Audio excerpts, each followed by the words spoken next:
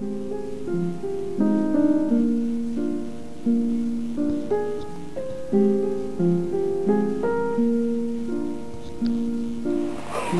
once watched a crowd pull a drowned child from the lake. Blue-lipped and dressed in water's long green silk, she lay for dead. This first verse explains about how a drowning child was pulled from the lake. Blue Blue lips meaning she was numb, dying, and very cold.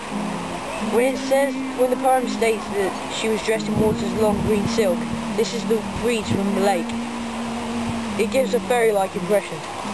Tears are filling up their glasses, no expression, no The kneeling on the earth, a heroine, her red head bowed, her wartime cotton frock soaked.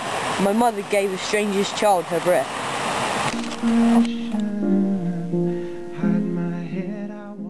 Earth indicates that uh, she is sort of praying, and this is uh, proved in the next line, which uh, is by the bowed, which is like bowing to God, praying to God for life.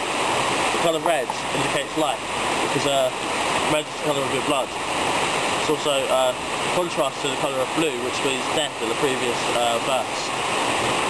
Uh, then there's a slight jealousy in the, the next line, because uh, my mother gave a stranger's child her breath. So it's like saying jealousy. And uh, yeah, that's that verse. No tomorrow. The crowd stood silent, drawn by the tread of it. The child breathed, bleating, and rose in my mother's hands. My father took her home to a poor house and watched her thrashed for almost drowning.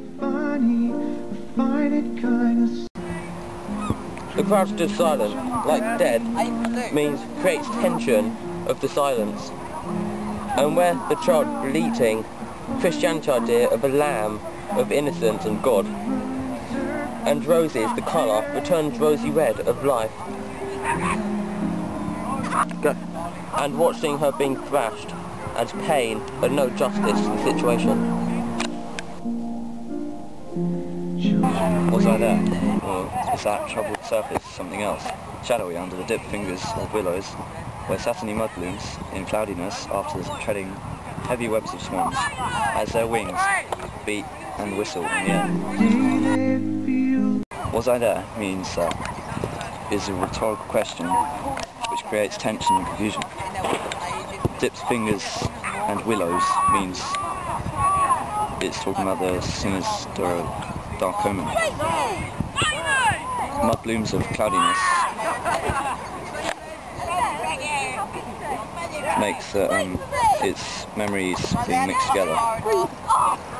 And after the treading, treading heavy webs of swans, basically means the swans are graceful,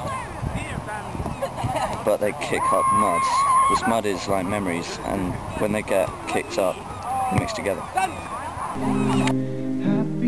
birthday.